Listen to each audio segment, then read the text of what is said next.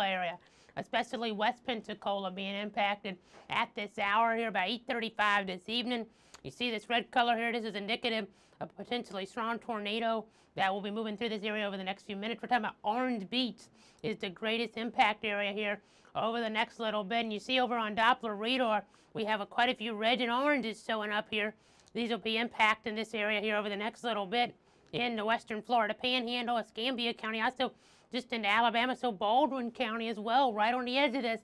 We'll be watching it for you closely. Again, though, particularly dangerous situation, tornado warning. But step up just to give you quick details on this. And before we wrap this up here in just a couple minutes, but large, extremely dangerous tornado is located near Orange Beach at 732, moving northeast at 35 miles an hour. So areas like Johnson's Beach, Lillian, Myrtle Grove, Warrington, West Pensacola, Bellview, Brent, Goulding, Ensley, Pensacola International Airport, and Ferry Pass will all be affected here over the next 45 minutes. So you need to be heeding this serious and taking this seriously.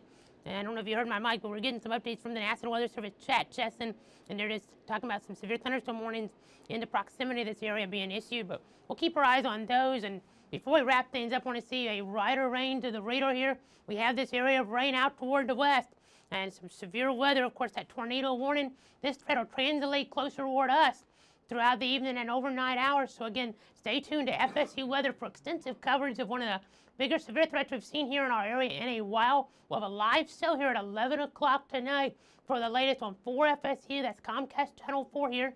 As well as you can watch that on livestream.com backslash FSU weather.